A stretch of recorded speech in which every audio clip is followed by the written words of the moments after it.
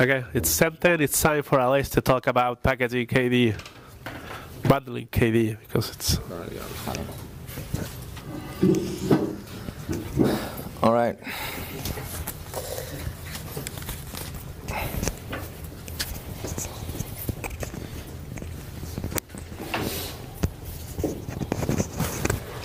Okay, so, well, first of all, let me introduce myself a little bit. For those who just know that I am the guy who talks about the Slimbook. My name is yeah, fine. If you cannot hear me, just wave like that. I will take it as a sign. Uh, my name is Aleix Pol. I come from Barcelona, and I've been developing KDE for, for a while now. Actually, this February, it's 10 years. Um, I work for Blue Systems, where we do uh, KDE stuff, and, well, other things as well, but mostly KDE, KDE software, and things around KDE, distros, and so on and I'm also part of the KDE e.V. board. If anybody has a question about KDE e.V. things, we can discuss them later outside if you're interested. And one of the things I've been working on on my free time, because I, I also do KDE on my free time, like my life is about KDE nowadays, is um, Flatpak and Snappy uh, tooling and things and that's what I wanted to talk about today. So before getting into the um, into the subject head start, I wanted to talk about a bit the motivation, like why would KDE be interested in these systems? Maybe it's something obvious, maybe it's not. So before I say anything, who thinks here that it's obvious that KDE should be doing, well, container stuff? Okay. So for the record, it's about 20% of the room. Um, we've been doing software in KDE for 20 years now. And in KDE, we have a vocation for the end user. What we do in KDE is we make software so that people will be using them on their laptops and we will be using them on their phones on some occasions and, and so on. Um, historically, we've done that through mostly through uh, the distribution kind of system where we basically publish a tarball file with full of text files, most of them, well, C++ source code, but not exclusively, of course, and images and a lot of stuff, and then there's other people who build the, those. That's only for, for Linux, in fact. In KDE, we do other things as well. In KDE, we have some of our software works on Windows, some of our software works on OS X and on Android, and in some occasions, some even more uh, marginal architectures.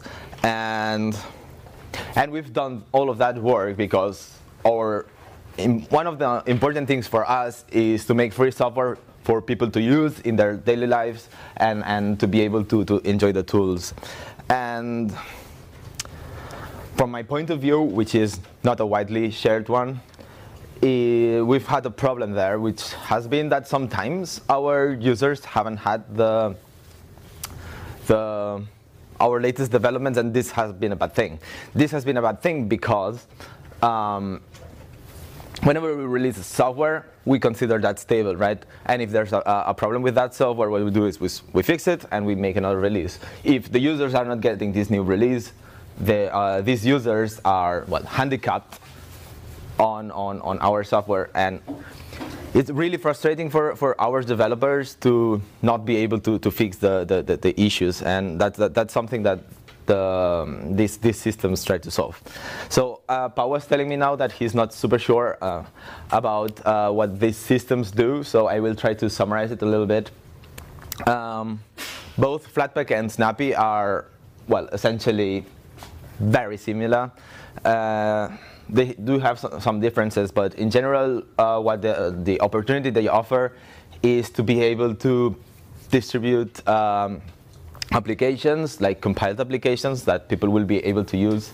Both of them uh, offer the, um, the possibility to execute those applications in a sandbox environment, which improves the, the, the security and the facilities for, for the user to to adopt those systems and or those applications. And well, that's more or less the idea. Um, is there somebody who still thinks he doesn't understand what they do? I know my definition was not great, but mm, well, if there's doubts, I can try harder. Uh, what's the difference between the two?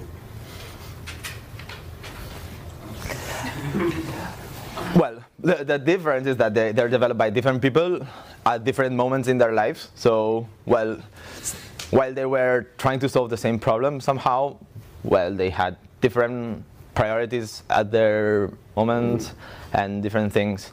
Um, from a very high level point of view, uh, I would say that Flatpak is far more focused to desktop applications. That's uh, uh, a difference. The other difference is that uh, the, the, model of this distribution, uh, Snappy has a centralized uh, repository by, by, like by Canonical or Ubuntu. It's called store.ubuntu.com, and you will fetch from there.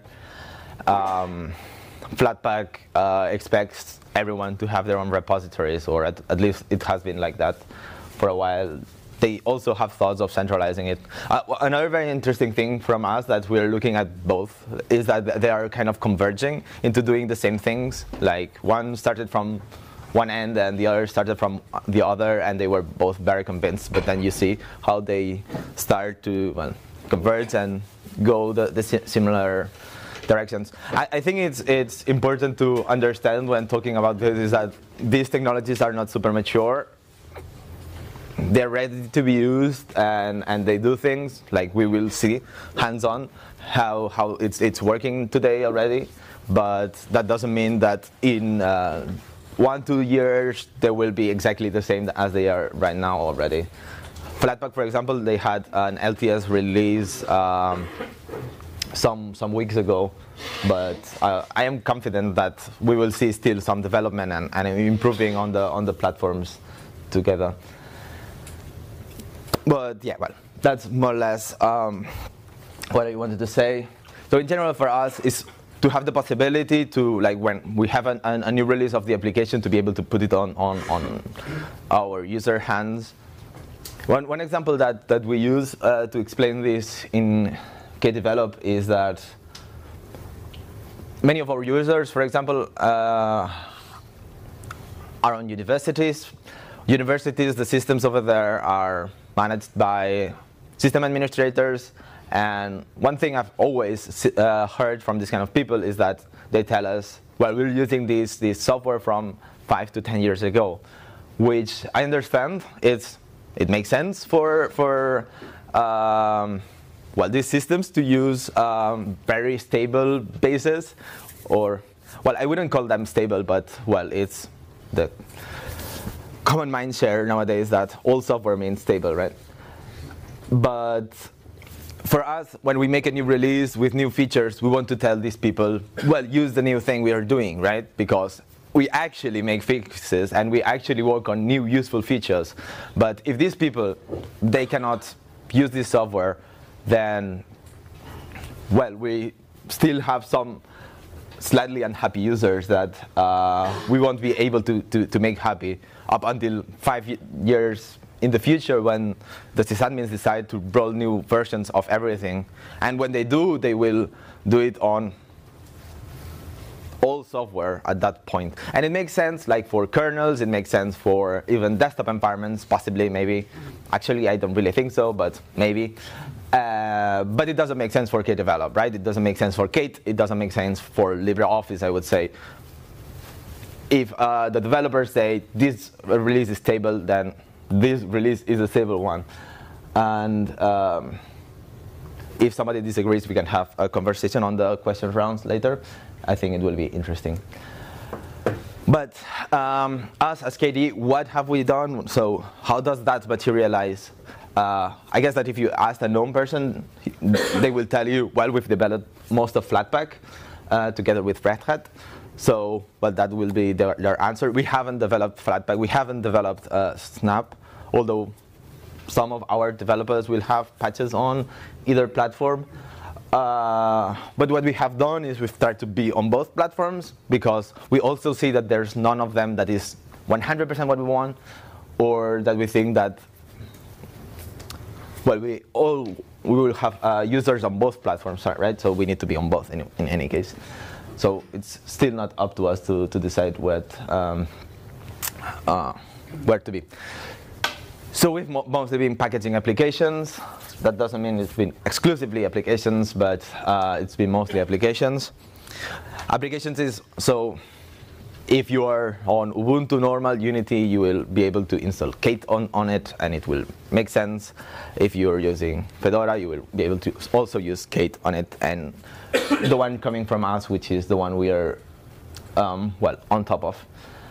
Um, so now I will go through all aspects of both and, and with, with what we've done on it. I will start with how would you install applications. Then I will go through how to build applications, uh, KDE applications on, the, on, those platforms. And then I will show you how we are integrating those platforms into uh, our software center. I hope that's interesting for you. I think it's really cool, but then I've done most of the work, so I'm not really representative. Um, how do in, to install a, a snap? Well, there's two things that you want to install. In KDE, we, we have this thing, which is our frameworks. Uh, we also, all of our applications rely on Qt, which is a fairly big package. So we needed to at least share of the, one of those. Uh, many of the complaints I hear whenever somebody talks to me about uh, bundled applications is um, how every application is, is well, packaging all of all of the libraries, and well, it's certainly something we, we, we didn't want. Uh, we don't want every KDE maintainer to have to maintain the compilations of all Qt and of all KDE frameworks. That's definitely something crazy. And of course, every time somebody uh, downloads an application, we don't want them to download all of Qt and all of KDE frameworks because that's, well, tens to hundreds of megabytes. That's not acceptable. But then for us, we consider it's acceptable to have a big package, which would be the frameworks package, which has all of Qt, it has all of the KDE frameworks, and then have, well, tens to hundreds of, of smaller applications to that you, you can download and, and enjoy and then have them all sharing this, this big frameworks package. So um, if you want to read more about that, there's Harald's blog, which uh, explains a bit how it's installed. Um, do we want to install an application? Sorry, you had Just a quick question about the, the frameworks package. Is that um, the, the same for like if you have a dependency on 5.8 as on 5.10, or is it like is it version or is it like the KDE frameworks 5 package? Well, in general, whenever there's a new version. Can repeat the question? Oh, yes. The, the question is Do we have to have installed many frameworks packages at the same time? And I would say no. No. Well, uh, in, both in Qt and KDE frameworks, we. Um, we offer backwards ABI compatibility, so any newer package would, would work with uh, an older one, which no.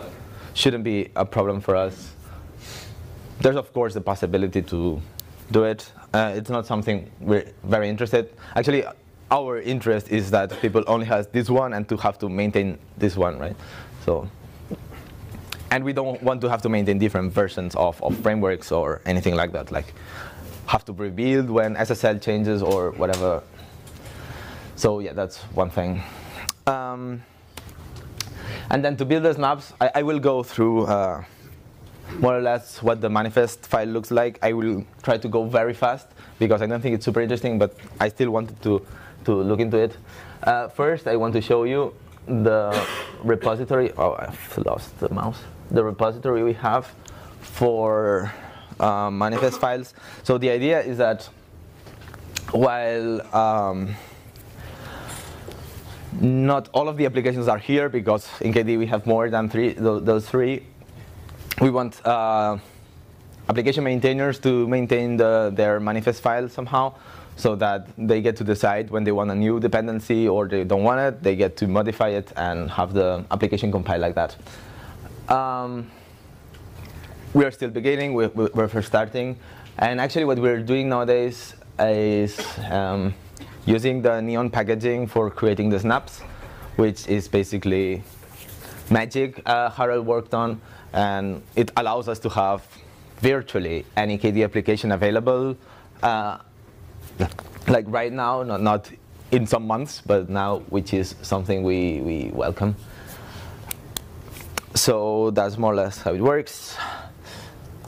Um, so on the manifest file, what we um, specify is, well, names and how we want the application to be confined. So the, the information we have on the manifest is more or less the information that uh, Snap the Snap system will have of our application when, once it's running, right? So there's name, version, summaries, for because Snap is also at the moment the system uh, Snappy uses for, for listing applications and showing them on a software center. Also, um, we need to tell it what uh, kind of things our Snap will be doing to communicate with the external world right? This is um, those plugs. If I say something really wrong, tell me. No, but uh, um, so these these plugs, do they plug into the um, uh,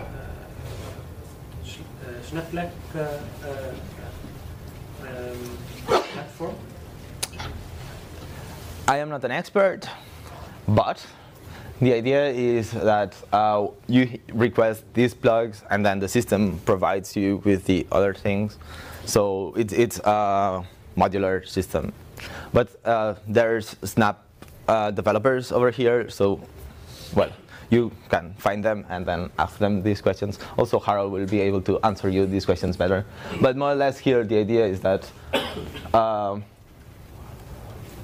uh, here, for example, we're saying we need Unity 7, and it says here notifications. Well, what Harald meant when he wrote that is that you need to have uh, somebody listening to you on that end. So when you edit things, well, these notifications happen on the on the system side, right? Because if it's confined and nobody gets to listen to your application, then you can send notifications, but they don't want to show on, on the on the system, right? And then um, that's uh, exposing the KDE frameworks uh, package uh, on. So when our application is compiled, is using the the shared frameworks thing on the um, on the build time. Uh, on the previous slide, uh, you have a dependency on uni Unity. Does it mean you handle Unity as part of the KDE Snap? Well, no, we won't distribute Unity with every KDE application. it's just the name that uh, they used for, for naming some interfaces.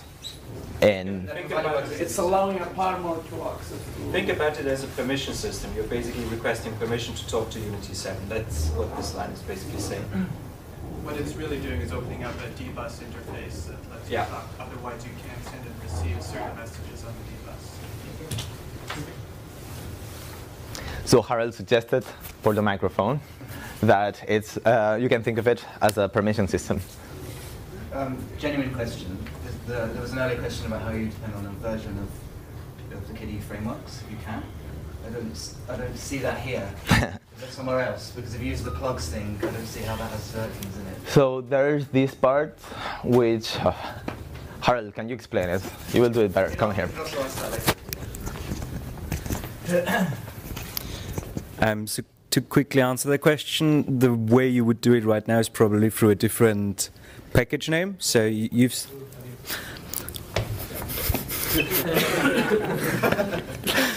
uh, you've seen how the the thing is called KDE Frameworks dash five, right? So if you wanted a version, it would be dash five point six.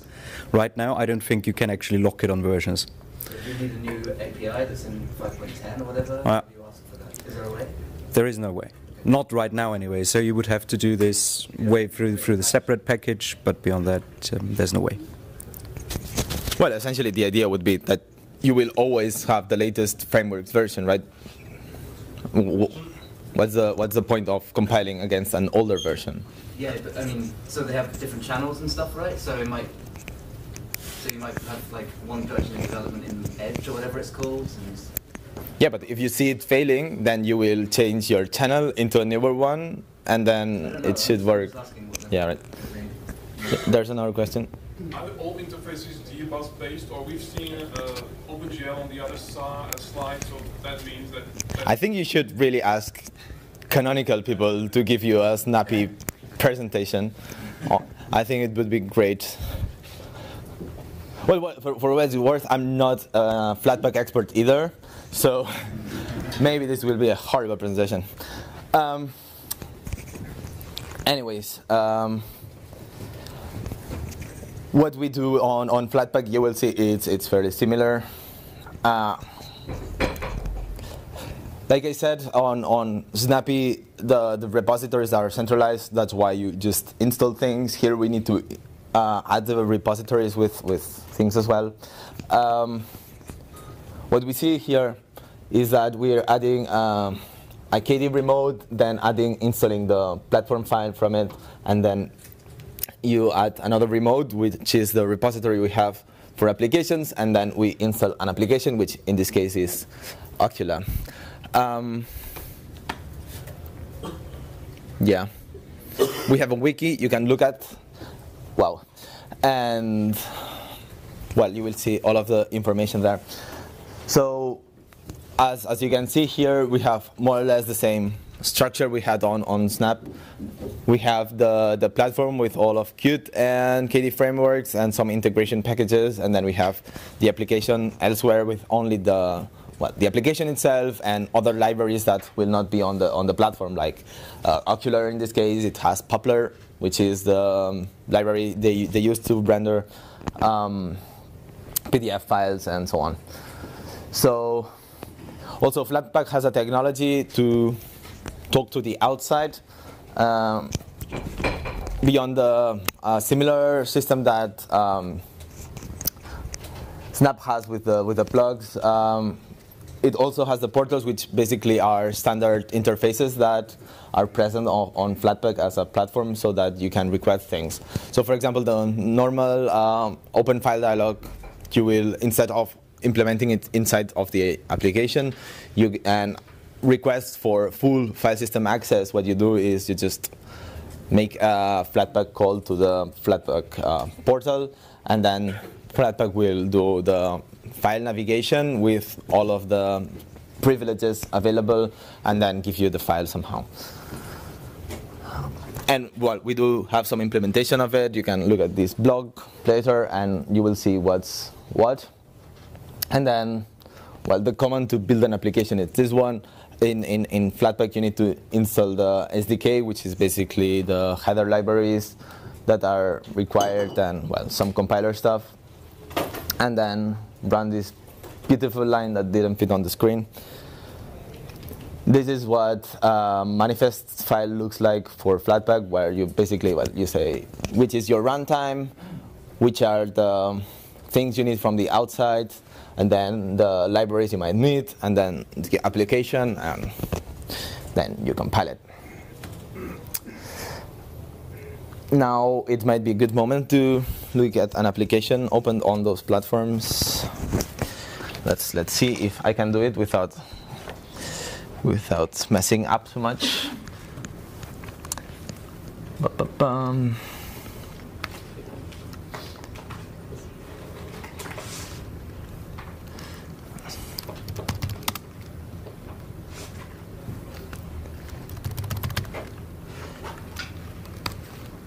So we can uh, Flatpak.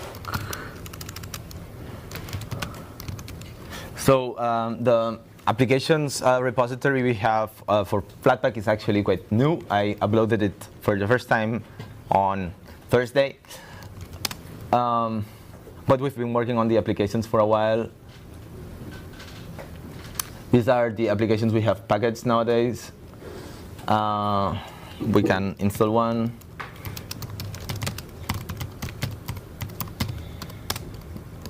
We need to tell it the repository. And now, of course, it need to install it. Oh well, it's already installed. You can believe it works. I didn't make Flatpak though. Uh, and that's um, Okular being run in Flatpak. Uh, this is not running the the um, the portals yet. It's uh, just requesting the access to the full file system. But then you can see if we go up here, there is an app directory, which is actually where the application is mounted. So this is not the root file system of, of my system. It's just the mounted system on on on Flatpak. Uh, on Snappy, let's see what snaps I have installed because we don't have a lot of time. Um, bum, bum, bum. We can run ScummVM. Who doesn't love ScummVM? Boom. Oops.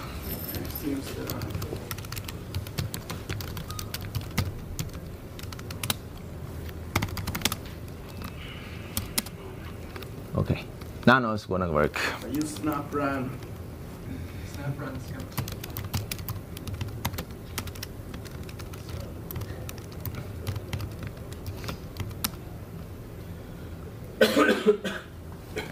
Oh yeah, there it is. Um, yeah, no, that's not super. Uh, I should have a, a KDE application. Which one? K blocks. Kblocks. Kblocks. Kblocks. Install. sudo right sudo snap install kblocks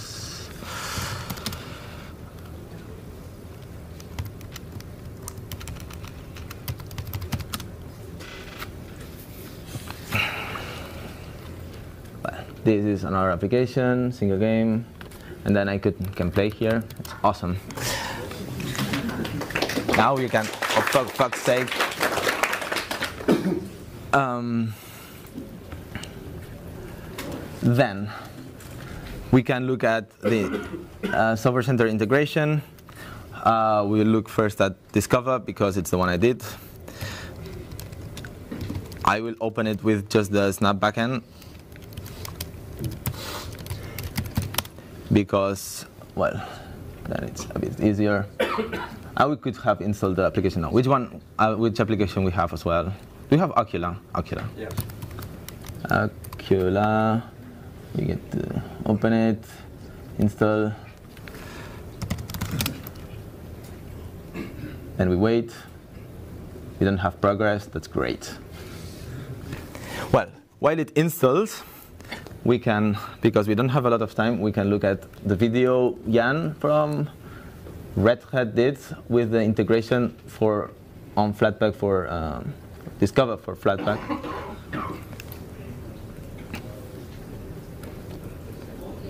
You can see it works. It's on a on a branch, and it's actually not compatible with master, so um, I don't really want to install it now. But you can see listing works, and you get to launch the application.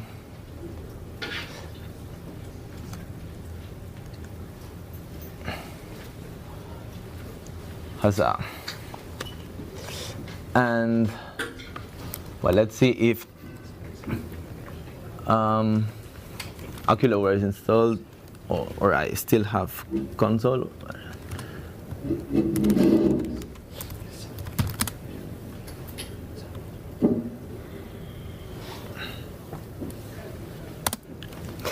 Oculaware needs to be recompiled. So that's that's it. Um, there you go. So I wanted to discuss a bit uh, future things, which is basically we would like to have it better in integrated in KDevelop, which uh, well should happen soon if we find somebody to do it. If you're interested, please say hi. Uh, we would like to see if, how hard it would be to have Plasma on those systems as well. We have two approaches to it. None of them work, but we're hopeful they might someday. And you have maybe half a minute for a question. No?